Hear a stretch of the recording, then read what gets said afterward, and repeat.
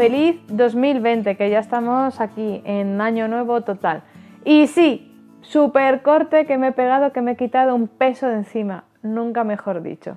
Y es que... ¿Cuánto tiempo hacía que llevabas el pelo tan corto? Llevo yo creo cuatro años, ¿no? Cuatro años que me tuve que cortar el pelo, pero por motivos muy diferentes. cuatro años. Cuando empezamos cuatro el años, canal, ¿no? Porque sí, el primer vídeo... Cuatro años y pico. Madre mía. Aquí tenía el pelo con la intro, que la quitamos porque es muy larga. Qué mona, ¿eh? Juan, quedaba muy chula.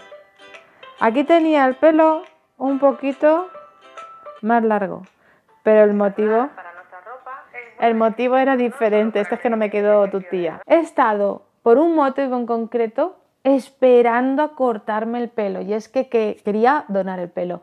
Y es que llevo muchos años donando sangre, ¿no? Soy eh, donante de sangre. Hace muy poquito me he hecho donante de médula, que ahora es mucho más sencillo.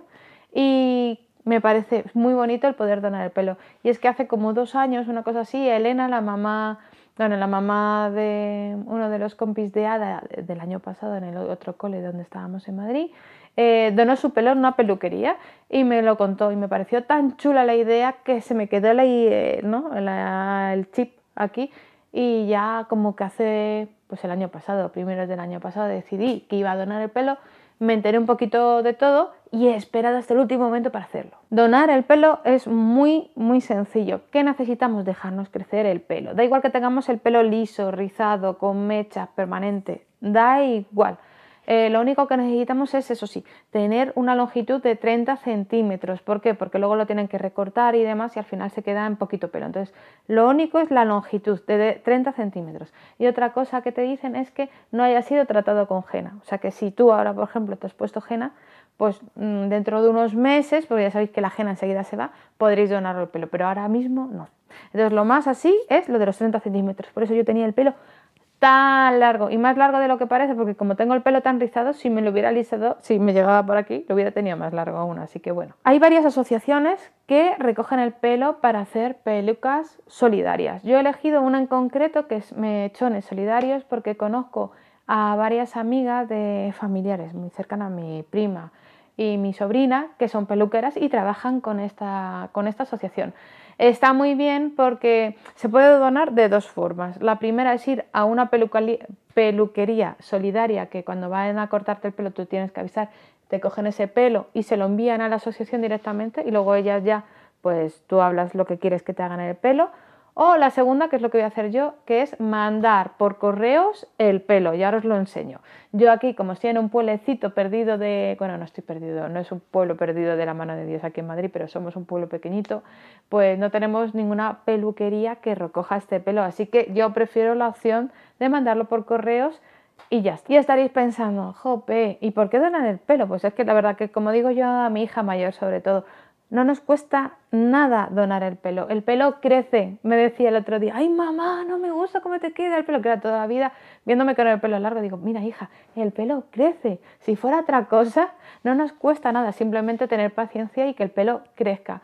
Y es que podemos ayudar muchas personas. Hay muchas personas que eh, padecen cáncer y que por el tema de la quimioterapia y radioterapia se quedan totalmente calvitas y hay personas que lo pasan muy mal. Bueno, pues estas pelucas solidarias les ayudan a encontrarse mejor. Luego también niños y niñas que también pueden ser o bien por cáncer o por otras enfermedades. Hay un tipo de alopecia también que nacen sin pelo que también se le lo necesita, le puede venir bien. Entonces me parece que es un pequeño gesto que realmente no nos cuesta nada, eh, y más sobre todo si le podemos mandar por correos y ya está, y que podemos ayudar mucho, mucho, mucho. Para que nos hagamos una idea, las pelucas de pelo de, pelo de verdad valen una pasta, vale mucho dinero. Entonces, donando el pelo pueden bajar hasta un 70% el precio. Eso significa que muchas personas que no pueden optar a estas pelucas, a estas pelucas solidarias sí que van a tener más facilidad de acceso. Y a mí me parece muy bonito porque es una cosa, seguro que más de uno, más de dos hemos tenido algún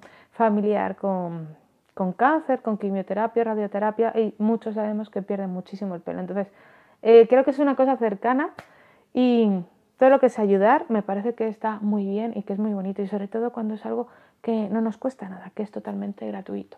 Aquí están mis dos trenzas, mirad, que me tuvo que ayudar Juan a cortarla porque yo no era capaz de lo gorditas que estaban. Ahora los voy a meter en un sobre y los mandaré a correos a Mechones Solidarios. Y bueno, esto es el pasado dos años para hacer esto, ¿eh? Pero bueno, ahí está, que espero que les venga bien a alguien que, que la disfrute mucho su peluca. Y esto es el pasado y ahora hablaros del presente. Estamos en el 2020 y yo me voy a centrar muy mucho en Escuela Arbal, en el curso de fitoterapia de plantas medicinales, de un año que tenemos que mi chico me está diciendo, Virgi, es demasiado temario, no vamos, van a ser 14 meses. Bueno, vamos a ver, ahí estamos intentando organizarlo todo para que os mm, guste muchísimo Aparte del tema del curso, tengo muchos propósitos que quiero hacer lentamente. Bueno, llevo muchos años con ello, pero quiero mostraros lo que es el tema del zero waste. Ya llevamos tiempo haciéndolo en casa, pero hay muchas dificultades y muchas cosas. Entonces, quiero compartirlas con vosotros y quiero ir pues enseñando un poco el paso a paso, que me parece interesante. Sé que lo hace mucha gente, pero es que yo necesito hacerlo. Es como un granito de arena que aporto, si no, no me queda a gusto. Luego también quiero salir mucho al campo para enseñaros plantas, por supuesto. Ahora está helando aquí que no veáis, dentro de nada va a empezar a nevar, eso esperamos, porque es necesario que nieve, de verdad necesitamos mucha agua. Pero en cuanto empiece el buen tiempo, un poquito la primavera, vamos a coger la cámara y nos vamos fuera a enseñaros un montón de cosas preciosas. Y más cosas, la verdad que especialmente es eso, y bueno, por supuesto, esa preciosidad ahí que me regaló mi padre Isabel, que es su mujer, el destilador, lo voy a poner en práctica. Vamos a hacer varios vídeos sobre hidrolatos, aceites esenciales y por supuesto vamos a enseñar cómo se destila, bueno, más o menos, os voy a enseñar cómo destilo yo con mi destilador que llevaba solo como 20 años esperando tener uno, así que estoy súper contenta.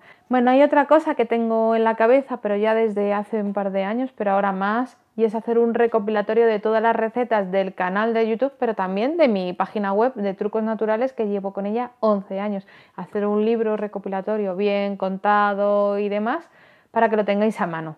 Pero eso ya será algo para hacer final, a finales del año, porque ya entre una cosa y otra es que no me da, de verdad que no me da la vida. Cuando digo no me da la vida es que no tengo ni una hora libre a lo largo de, si acaso por las noches, cuando me pongo a hacer algo para mí y estoy tan cansada que lo que quiero es dormir. Así que bueno, poco a poco. Dejadme en los comentarios abajo qué os gustaría que hiciera este año más del tema de aromaterapia, de cosmética, de medicina natural, que es lo que para mí es lo mejor. ¿Qué es lo que os gustaría más? Salidas al campo, dejármelo abajo. Y si alguna vez habéis donado el pelo o sabéis un poquito sobre el tema, también dejárnoslo abajo. Os animo para ponernos nuestro granito de arena, que de verdad que entre todos podemos hacer un montón de cosas. Y ahora me voy a despedir, que aquí donde nos veis tenemos mucho trabajo que hacer, que domingo, que nos ha pillado el toro con tantas navidades y tal. Así que me voy a ir a ser mamá y además a gladiadora del hogar, que hay que limpiar la casa, como digo yo. Gladiadora del hogar, darle a like, por favor, darle un me gusta, que me decís, me gustan mucho tus vídeos, pues se me olvida darle a like, pues darle a like, dejadme un comentario. Y el lunes que viene nos vemos con un vídeo que creo que os va a gustar un montón. Y nada, tener una semana genial, un fin de genial y a disfrutar. Hasta la semana que viene.